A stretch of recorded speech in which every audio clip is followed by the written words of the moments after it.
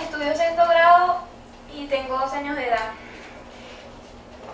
Mm, tengo, tengo dos años de edad. Pienso que me, deben, que me deben elegir a mí porque tengo talento, porque tengo talento.